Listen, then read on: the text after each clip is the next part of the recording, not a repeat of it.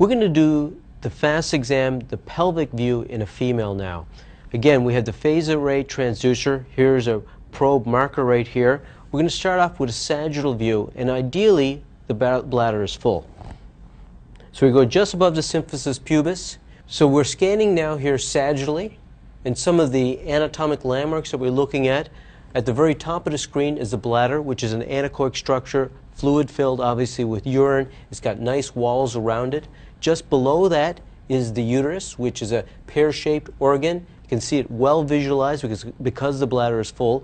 And just below that is a potential space, the cul-de-sac, where we can look for very carefully small amounts of free fluid.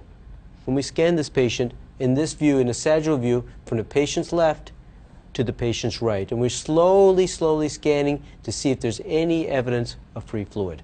Once we finish the sagittal view, we want to go ahead and do a transverse view. What we're going to do now is point the transducer marker toward the patient's right. So we're going to rotate that transducer toward the patient's right. Again, we see the bladder in the center of the screen.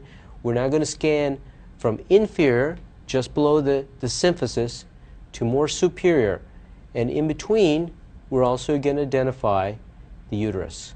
So we're going right to the very top of the bladder, to about mid-bladder. We can see the uterus here in the center. A very small amount of free fluid here, which can be physiological as well. So we're scanning all the way inferiorly to more superiorly, we see the uterus. We actually see part of the ovary there.